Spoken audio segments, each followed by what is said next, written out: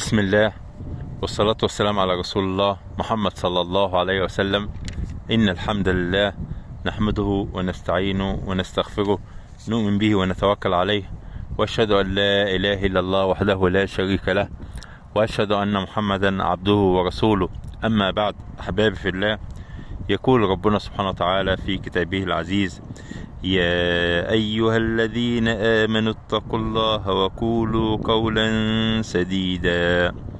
يصلح لكم أعمالكم ويغفر لكم ذنوبكم. ومن يطع الله ورسوله فقد فاز فوزا عظيما. وقال الله سبحانه وتعالى في كتابه العزيز يا أيها الناس إنا خلقناكم من ذكر وأنثى وجعلناكم شعوبا وقبائل لتعارفوا إن أكرمكم عند الله أتقاكم إن الله عليم خبير. أما بعد أحباب في الله هيتجدد بنا اللقاء واليوم سوف نعيش مع قصة للصحابية الجليلة وهي رفيدة بنت سعد الأنصاري رضي الله عنها وأرضاها واسمها رفيدة الإسلامية بنت سعد وقيل كانت تسمى بقعيبة بنت سعد وهي صحابية وممرضة كان تعمل ممرضة عاشت في أواخر العصر الجاهلي وأدركت الإسلام وعرفت بأول ممرضة في الإسلام صلى على النبي محمد صلى الله عليه وسلم. ولدت في المدينة المنورة في قبيلة أسلم. وتعلمت الطب من أبيها نشأت في عائلة لها صلة بالطب. كان والدها سعد الإسلامي وأخذت منه وتعلمت منه الكثير في أمور الطب.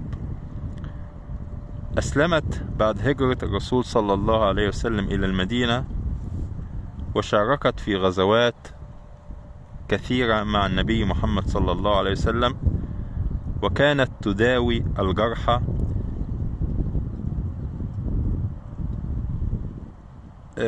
وكانت تداوي الجرحى في غزوة الخندق وأقيم لها خيمة في المسجد النبوي وذلك للتداوي وأمور الطب. وكانت هذه الخيمة تستعمل في السلم والحرب. فكان يأتيها المرضى وكانت معها بعض الصحابيات منها عائشة رضي الله عنها وأرضاها. كانت تعلمهن التداوي والطب وأمور الطب. فكان مرضى أهل المدينة سواء إذا كان في الحرب أو في السلم كانوا يستخدمون هذه الخيمة. صلى بنا على النبي محمد صلى الله عليه وسلم. وعندما أصيب سعد بن معاذ بسهم أمر النبي محمد صلى الله عليه وسلم أن يتحول إلى خيمة رفيدة وأن يذهب إلى أمر الصحابة بأن يأخذوه إلى خيمة رفيدة وقد أصيب أكحل و الأكحل يوجد في الذراع وهو عبارة عن وريد أصيب فيه بسهم سعد بن أبي سعد بن ابن معاذ رضي الله عنه وأرضاه. فذهب إلى خيمة رفيدة وكانت تداوي جراحه. وكان الرسول صلى الله عليه وسلم يمر صباحا ومساء ويسأل عن صحة سعد ابن معاذ رضي الله عنه وأرضاه. ويقول كيف أصبحت؟ وإذا جاء الليل يقول كيف أمسيت؟ حتى جاءت الليلة التي جاء فيها قومه ونقلوه إلى بني عبد الأسهل إلى منازلهم. كانت رضي الله عنها وأرضاها تداوي الجرحى وتلم الشعث وتقوم على الضائع رضي الله عنها وارضاها وكانت تداوي مرضى أهل المدينة المنورة. وكانت رفيدة تقوم ببعض الأعمال ولها بعض النشاطات. فكانت من الأمور التي كانت تقوم بها وتهواها أنها كانت قارئة وكاتبة. وقد ميزها الله سبحانه وتعالى ب ومن عليها أنه أعطاها ثروة كبيرة كانت صاحبة مال كثير وكانت تنفق مالها الخاص على على الدعوة وعلى نصرة دين الله دين الإسلام وكانت تجاهد بالمال وتجاهد بالنفس. كل ذلك في سبيل الله رضي الله عن رفيدة وكانت تذهب للغزوات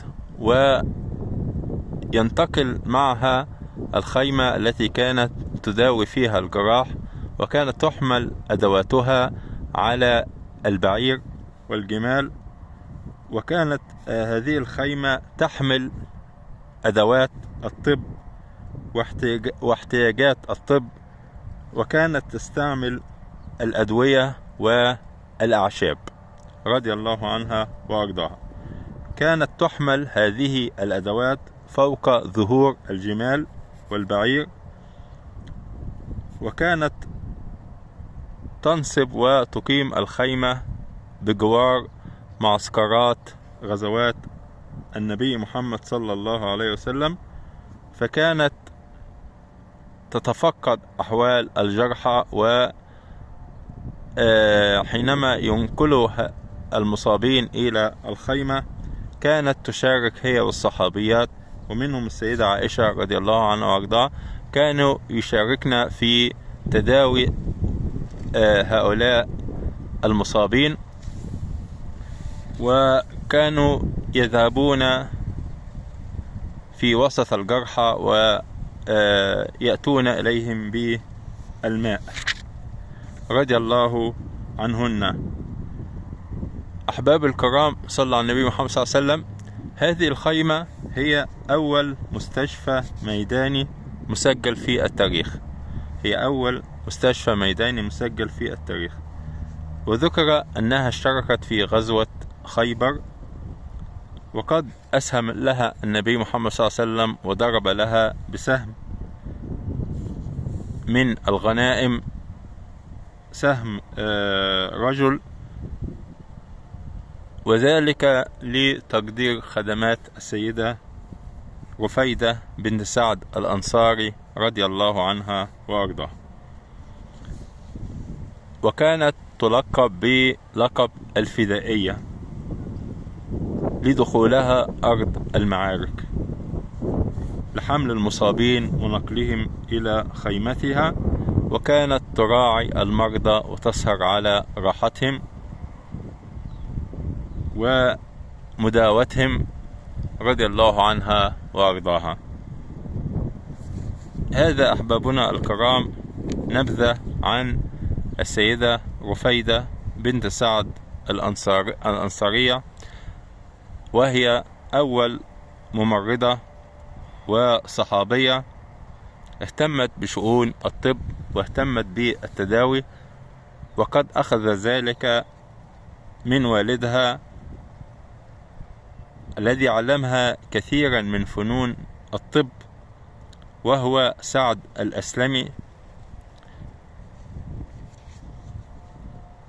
وبدأت